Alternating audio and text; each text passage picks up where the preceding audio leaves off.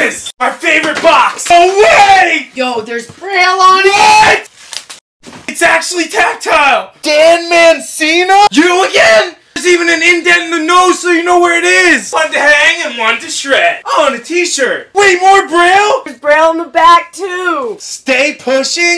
Wait a minute. Alexa, who's your favorite skateboarder? I like Dan Mancina, skateboarder from Michigan who's lost his sight. Dan is definitely the man. Yeah, he is. Keep pushing, one love!